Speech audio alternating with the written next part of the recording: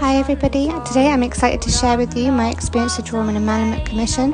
As an animal lover, I've always wanted to draw this popular dog breed, and with the client expressed her desire to have a colour pencil drawing of a Malamute, I couldn't decline the opportunity. To begin, I started looking through the client's photos and researching and studying other examples of Malamutes so I had a good understanding of the breed. After sketching out some basic shapes, moving to adding the colour, which was mainly a combination of blue, grey, red, and black. And for the eyes, I found it essential to combine hatching and blending to create the shade and highlight, as well as adding some shading to the pupils to emphasize their personality.